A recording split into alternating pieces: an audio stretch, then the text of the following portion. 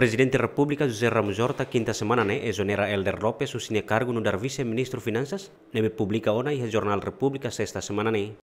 Se festado halo exoneração, né, a foi em cima proposta do primeiro-ministro Cairala Senano Guzmão, tama governante, né, retang ona nomeação, ato assume cargo no dar governador Banco Central Timor-Leste. Tuir plano Elder Lopes se simu pose no dar governador Banco Central Timor-Leste, quarta semana oin, o troca governador cesante Abraão de Vasconcelos. Agustino da Costa.